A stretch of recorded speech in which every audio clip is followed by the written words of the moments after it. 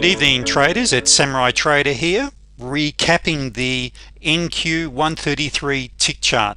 Uh, once again doesn't matter which market you trade whether it be uh, futures stocks forex all of these setups work in any market where we have volatility. And what I'm the chart I'm about to run through and the market I'm about to run through what's applicable to any market that there is is when the market is sideways you're going to be chopped up now a lot of traders ask me as I coach them or why did I get into coaching traders? Well there's a saying that you'll hear me say on a regular basis he who teaches learns twice. And my trading results have gone through the roof. Uh, I think the biggest reason is I'm all of a sudden held accountable as a trader and as a coach. That is because I'm executing trades uh, in virtually in front of virtually every student that I have real-time trades. And it makes me lift my standards. And and I think this is a, a really important thing I want to get today's session underway with is a question I want you to really ask yourself is this. If you're not succeeding as a trader you need to ask yourself why. And I just quickly put together this slide just before I got the session underway. And and as it says here let me ask you a question what are the two most important actions you could undertake that would dramatically improve your trading? What are they? They are is it no longer counter trend trading? Is it no longer moving your stop is it trend trading only trading with the trend? You see what I've discovered is when I'm with either uh, institutional traders or private traders and they're, they're not achieving their goals it is usually because of their level of standards when it comes to trading. That is greatness is a choice. Greatness in life is a choice. Greatness as a trader is a choice. If you're not achieving the results that you want to be achieving lift your standards. That is uh, hold yourself accountability uh, that is hold yourself accountable. Now let's have a look at and today I want to really focus on trading with the trend because if you trade with the trend and stick with the T1s and the T2s stay out of a sideways market which we'll have a look at and we'll explore what constitutes a sideways market you will succeed as a trader. But to truly succeed you need to have a, trading diary. Every single trade that you take I want you to jot down in your diary and I have dozens of them um, that is manuals that I have of every trade that I take and comments and notes from every trading day. And in this trading diary I want you to write down the trade you took the time you took it the market uh, uh, the entry signal your exit and any personal feelings you may have had good bad or ugly. It allows you to go back and to review your trading day on a daily basis if you start to undertake these sorts of things I can guarantee you you are going to um, dramatically improve as a trader dramatically. So let me just remove an indicator here and I'm going to simply take off the uh, trigger line as well right now. So let me just remove the alligator.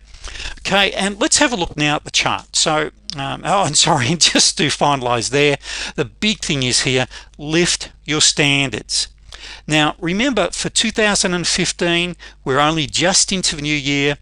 Remember that your habits are going to control your trading results. So let's have a look at trend trading today.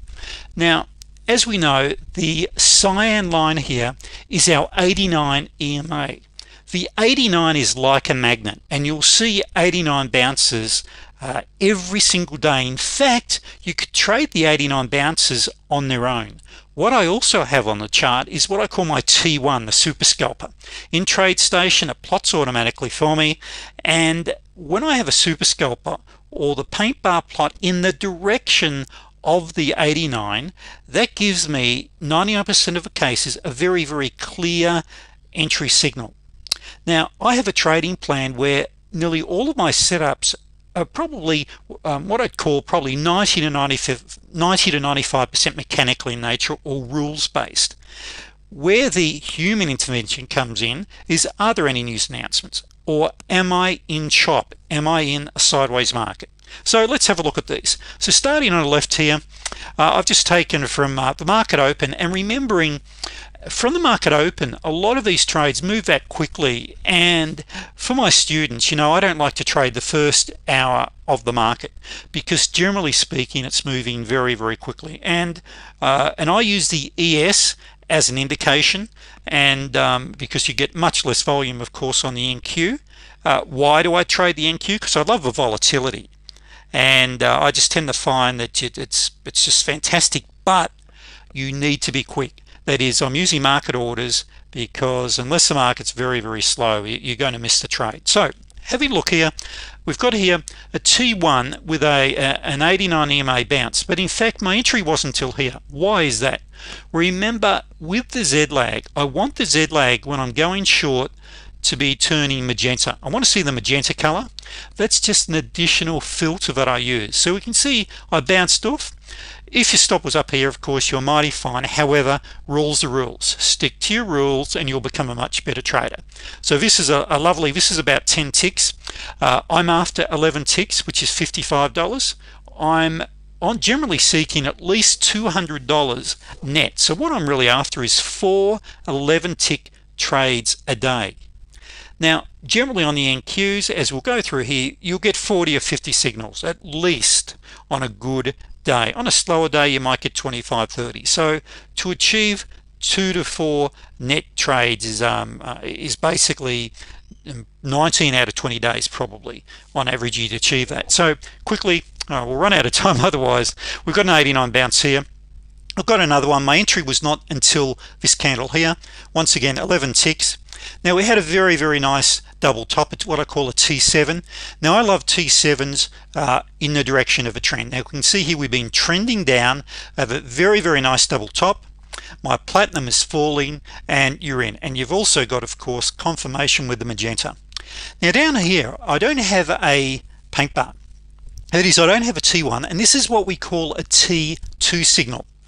Now it's just after and if you notice here the black line here is the long-term stochastic and it's in a downtrend. Uh, this is borderline T10 and a T2 it is it's a cross between really a money on the floor and a, and a slingshot. Now a slingshot is where the long-term stochastic is oversold or overbought. Here where of course we can see what uh, we're oversold and uh, we come up we roll over and away we go. Now we have another trade signal traders called the T25 which is a pullback of two to five candles. So you could have got in here or there but that was a very very nice 11 to 20 tick trade as well. And you actually had another one here as well uh, T25 or a slingshot. Now notice how I'm still oversold. We pull up and that sling slot sling, let me get it right slingshot uh, in the direction of the trend down the bottom here I don't want to talk too much about counter trend trades but you can see here I've got two um, uh, two T1 signals counter trend trade. I turn here I turn cyan. So for my counter trend traders you got a beautiful trade there. Now paint bar here why wouldn't you have taken it to the short side? Well look at my zero lag. It's in a very definite uptrend. However you do have one here and for the traders that are trading now you can see here actually only uh, 25 minutes into the market here. And many traders would have taken this one here and been stopped out even though um, when we turned here magenta uh, but the 21's turning up but still a lot of traders would have been caught here. But here we've got a rising long-term stoke a pull down and you've got a a T10 to a T2 again. These are all rules-based mechanical entries if you noticed. Okay so we're all pulling back. Thank you very much. Now remember your stop here is two ticks below your low. Up here okay it would be uh, this is what you call a T89 whoops and I promised I wouldn't talk to you about counter trend trades today. But now I've mentioned a T89 is where you've moved well out of a channel and you've got a gap of zero lag and your entry uh, is outside the channel. Very high probability trades and you had one right there. But what I wanted to mention here is notice how our 89 EMA is sideways here traders and I started to write to type in their patience. I'll just remove that for now. But stand aside and wait. And this is the greatest and probably the most important rule for traders is you know if you consider the skill set of a sniper and of course the movie the American Sniper has just come out and huge rave reviews. And I recommend if you see the movie the patience a sniper has to have. They've got to lay there for hours. And really if I really look at my best traders is patience is a virtue. They are patient. They are disciplined. They are quick. In many ways they're, they're ruthless that's what makes a great sniper and that is what makes a great trader. So here you really should have been standing aside not taking trades. Not that there was many in this area here by the way um, uh, but the point is here when you see your 89 and also not only that is I want to mention here a pivot an 89 right on a pivot. This is a real danger area here. So where you get those sit on your hands. And wait remember you're only after two to four trades a day to financial independence. Two to four trades a day and you become very very wealthy. If you go back and have a look at some of my earlier videos you'll see where I talk about achieving just $100 a day per contract. On $20,000 uh, with a stop of 2.8% you're uh, trading eight contracts. On $100 a day that's $800 a day. That's that's $4,000 a week. And as your account builds you add extra contracts. Well what I actually recommend the first thing you want to do is to get your risk factor down to 1% and I should just clarify that. Where I'm talking about a risk factor of 2.8 that's extreme. Really what you're after is comfort level which is 1% but getting back to here now look at these two T1s look at these paint bars. Bang winner. 89 bounce. Winner. Winner here stopped. Okay here you would have been stopped on that trade. Uh, here you entry was not till here but a winner. You had a t2 a winner. A paint bar a winner. Now that there was 11 ticks and just look at this another winner. Now what's happening over here traders is once again we're hitting this congestion. Now notice this. What can you see? The 89 is sideways but what else have we got? We're right on the pivot so we yourself chopping around on the pivot? Yes I know there's some great skilled pivot traders but I'm really talking to traders here that want to be very mechanical and lower their risk. Stay with the trend traders. Stick with the trend. The trend is your friend till it ends. So traders as a quick recap greatness is a choice as a trader.